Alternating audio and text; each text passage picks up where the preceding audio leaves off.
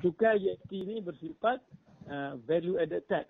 Jadi siapa yang membayar cukai akhirnya? Pengguna. Mm. Uh, pengguna. Ya. Semua cukai-cukai itu akan dipaskan oleh pengilan uh, kepada akhirnya kepada pengguna dan pengguna lah yang sebenarnya menanggung seluruh cukai itu. Ini uh, yang saya maksudkan sebagai ia membebankan akhirnya dia akan membebankan orang ramai pengguna rather dan pengilang ataupun orang-orang yang lain tu ya. Kalau Zafrul nak perkenalkan balik, hati-hatilah buatlah kajian betul-betul. Ha? Jangan susah dan rakyat lagi lah. You know? yeah, itu itu komen saya lah.